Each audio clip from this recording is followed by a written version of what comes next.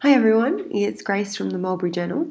Before we get going, I just want to um, apologize in advance for my nasally sounding voice. I've got a bit of a cold, um, but that's not going to stop me. So, um, I just thought I would do a really quick video for you showing you through a couple of the resources in the uh, September Intentional Homeschooling Bundle.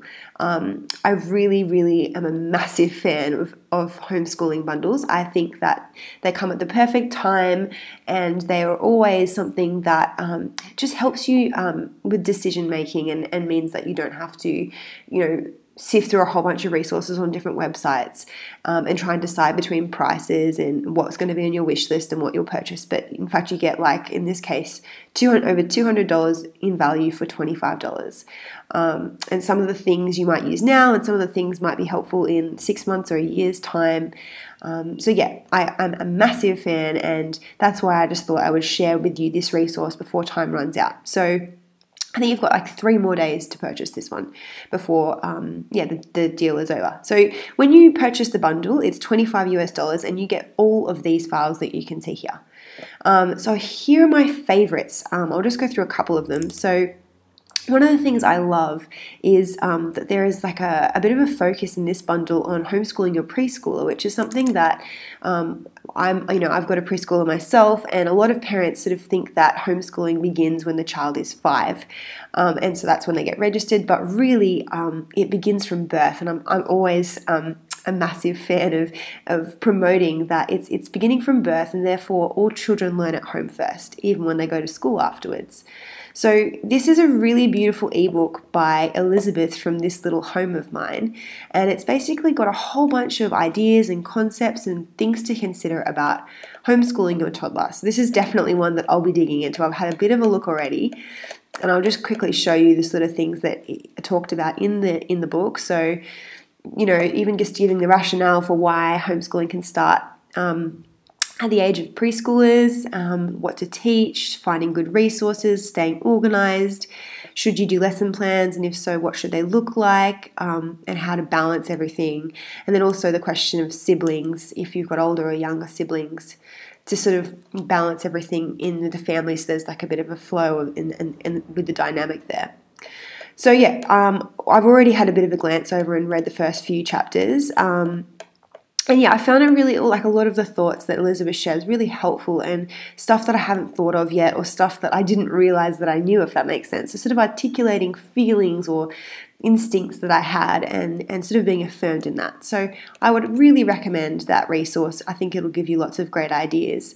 Um, and Elizabeth has also contributed. Um, a letter a week activity guide. So, this is again for toddlers, so two, three, and four year olds. And this is a really tangible kind of lesson planny um, sort of, uh, yeah, resource that you can use off the back of that ebook.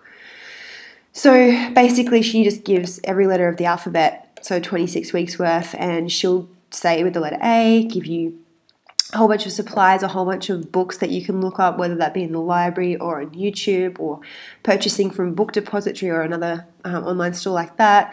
And then she gets, sort of gives you like songs and, and stimulus and activities and um, open ended invitations to play um, using all of the senses, which I think is just fantastic um, for this age group, particularly to, to be utilizing all the senses. Um, and she often links out to a STEM activity too, which I think is really nice. So um, it's quite open ended. Um, she, so in, for example, here, like she talks about baking apples with butter and cinnamon. Like she doesn't give a, recipe, but I just think that these are ideas. You know, um, it's not like a everything in one place, every single thing. I think it's more of a here's an idea, and then you go off and Google the recipe because it's pretty easy to find a recipe on baked apples, right? So it's a really good starting point, and I think it's a, a great sort of yeah, a base to plan your days with if you're feeling a little bit uninspired with toddlers to focus on letters of the alphabet.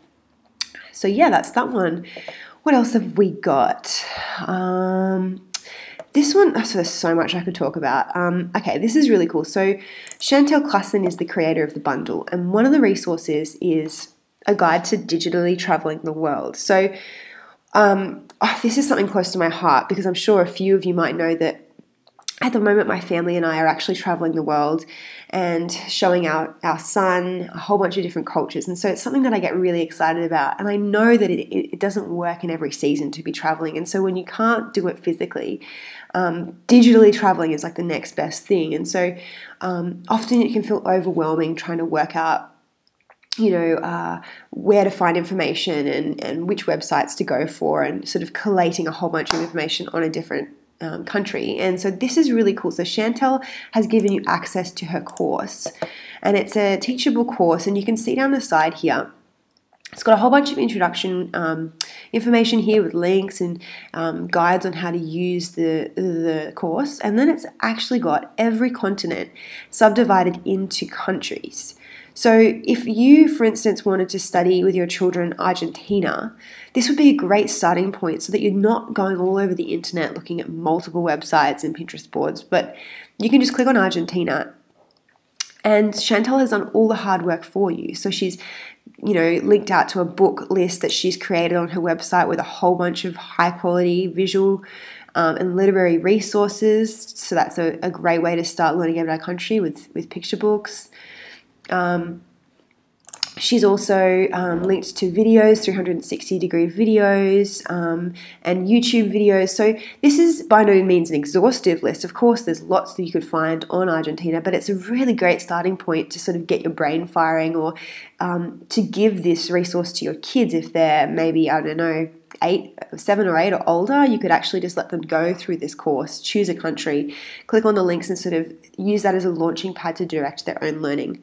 Um, so I can tell you right now, like the lists, the, these lists are great. So um, I'm an Australian, so I've just had a quick look at the Australian list out of interest, and these books are really great books. Like I know a lot of them.